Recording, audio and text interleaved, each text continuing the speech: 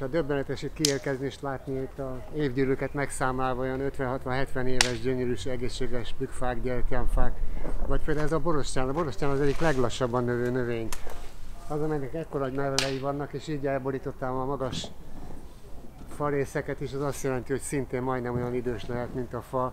Óriási levélfelülettel, ráadásul ez télen is zöld, télen is oxigén termel, úgyhogy ezt helyreállítani, vagy, vagy újra kezdeni, hát rendkívül, egyre csak nagyon szomorúak vagyunk, de minden esetre rajta tartjuk a ütőhelyrein a kezünket, és szeretnénk beszámolni minden dologgal. Tehát ezek 50-80-100-150 éves fák. Tehát ezeknek a lombkoronája, az az árnyék, az a légtisztító hatás, az a, az a park alkotó tömeg, ami bennük van, az 100-150 év alatt fejlődik ki. Ezt nem lehet 10 év alatt, 20 év alatt pótolni. Hiába mondják, hogy ide építenek ugyan egy nagy épületet, de aztán mellette majd park lesz. Meg kell nézni, hogy a Nemzeti Színház parkjában, vagy a Műpa parkjában azok a fák, amit 10 vagy 20 éve épített, ültettek, vagy Hungária körúton máskor, azok egyszerűen nem fejlődtek. Tehát ami itt kis csenevész fák vannak, ezek nagyobbak, mint a 20 éve ültetett budapesti fák. Egyszerűen Budapesten a gondozási kultúra hiánya miatt nem tudnak fölfejlődni a fák. Egy borzasztó és egy csodálatos dolog történik. Egy borzasztó dolog az, hogy eh, van egy nagy nemzeti büszkeségünk a Városliget, ami egy több mint 200 éves közpark, és eh, van egy bornírt elképzelés, hogy ezt a parkot épületekkel terheljék meg, ahelyett, hogy megőriznék park minőségében. Ez a borzasztó dolog. Ami meg csodálatos, meg fantasztikus, hogy egy teljesen spontán és persze nagyon különböző szereplő pártok, civilek, egyszerű polgároknak az ellenállásából ütközött meg ez a dolog, és e, ami itt most van ez a hangulat, meg, meg ez az egész ilyen közösségi aluljöbő kezdeményezés, ez, ez mutatja azt, hogy, hogy van egy ilyen, egy ilyen polgári kultúra tulajdonképpen ebben az ügyben, és hogy ez most megmutatkozott, és ennek az erejét is látjuk, hiszen azért ezeket az embereket innen elvinni akár karhatalommal se lesz olyan nagyon könnyű reméljük, hogy nem is fogják megpróbálni.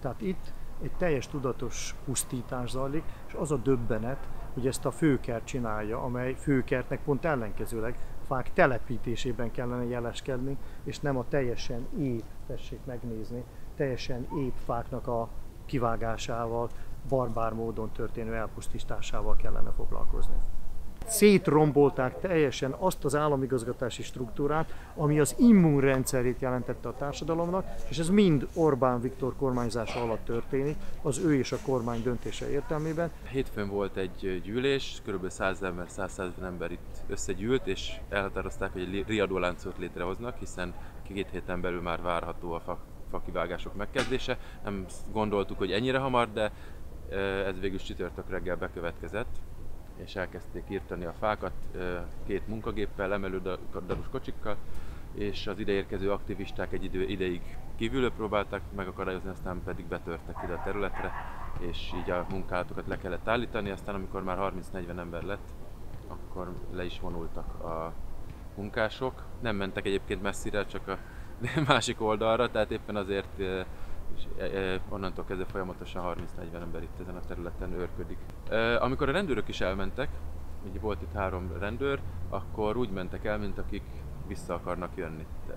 és arra gondoltunk, én arra gondoltam, hogy akkor ezt valahogy meg kellene akadályozni, hogy ők, illetve a munkagépek bejöhessenek, és akkor ö, építettünk barikádokat, kezdtünk el barikádokat emelni a levágott fák részeiből hogy ne valami ellen menjünk, nyilván nem szeretnénk kivágják a fákat, és akkor az lehet, hogy azért az ember odáll a traktor elé, vagy a teherautó elé, teljesen mindegy mi jön, hanem azt szeretném, hogy nagyon-nagyon sok ember csatlakozzon a ligetvédőkhöz, tényleg kortól, nemtől, lakhelytől függetlenül, és jöjjenek ide, és hogyha egyszer ellenállásra kerül a sor, akkor ne ez pár embernek az elhivatott ilyen odállok az autó elé kommandós akciója legyen, hanem egy nagyon nagy tömegnek egy ilyen passzív, békés és mégis erőt mutató jelenléte. És egyben nagyon, ez, ez az erővel egy szándékot is kifejeznek, hogy ők szeretnék ezt, nem csak, ez nem egy 30 embernek az agymenése, hanem ez sok-sok ezer embernek egy, egy határozott véleménye és, és vágya. Nem csak Budapesten, meg Zuglóban, meg a 6.-7. kerületben, hanem máshol is.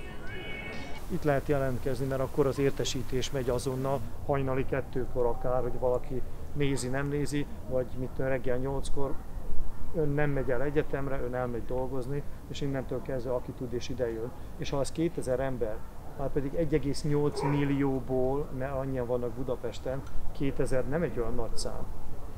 Én nem vagyok pesti, de, de átlátom azt mióta, mióta itt lakom, vagy ide járok, hogy, hogy mennyire kötődnek hozzá az emberek, és, és úgy gondolom, hogy ezért fontos, hogy én nem pestiként is kiálljak ezért a területért. A civil oldalról az várható, hogy, hogy még, még, még többen és ennél is többen leszünk.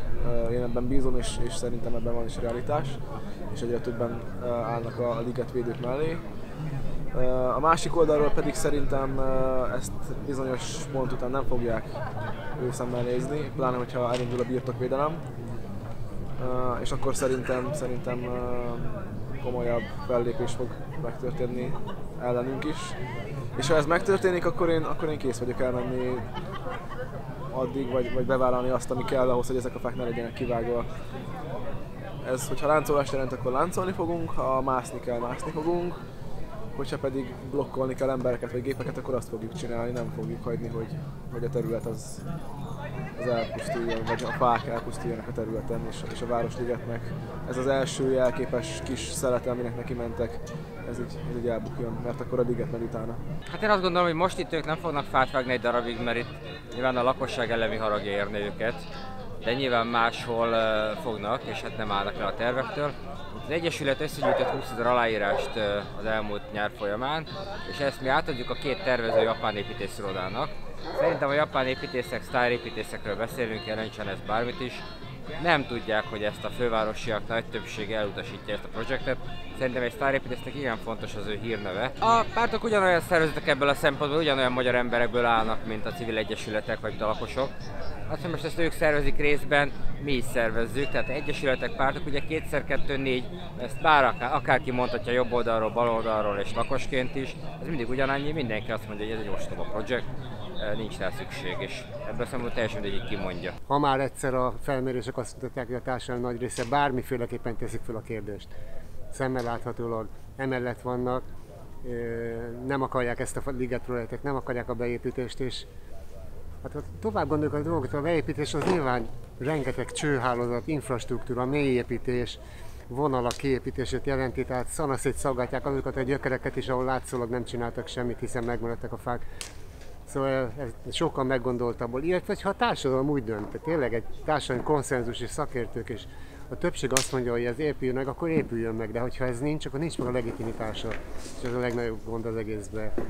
Mi szeretnénk kronikásai lenni, tehát nem hangulatot szítani, hanem, hanem, hanem a magunk eszközeivel beszámolni hitelesen arról, hogy mi történik itt, és kik vannak itt. És tulajdonképpen itt most debütál az úgynevezett kis pop-up stúdiónk, amelyik egy internet eléréssel, egy profi laptoppal és néhány audio eszközzel megteremti a lehetőségét, hogy innen egy kihelyezett stúdióként működjünk, és a interneten keresztül csatlakozzunk be a nagy FMS adásunkba a, a Mária utcai stúdióban. Én a tűzaktérben is ott voltam, a tűzaktérben is egy alkotó voltam, és akkor ugye beszántották és behintették sóval a helyét, és azt mondtam, jó, nem baj, én majd boldog leszek, én majd sokat keressek, én majd a barátaimmal szórakozok, és, és a természet, meg minden, de nem, tehát nem működik. Szóval ez, ez, a, ez a rezsim mindent, mindent, minden, mindenhova behatol, és elvesz mindent, és most a fák, a fák, a pedagógusok, nem tudom, tehát mindenki sorra kerül, szóval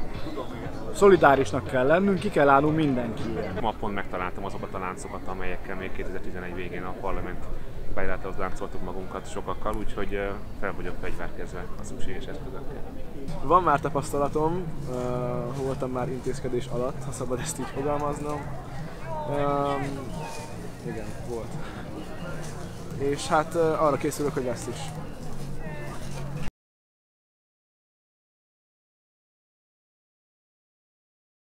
Adj egy százalékot az átlátszónak, hogy megtud, mire megy el az adót 99 százaléka.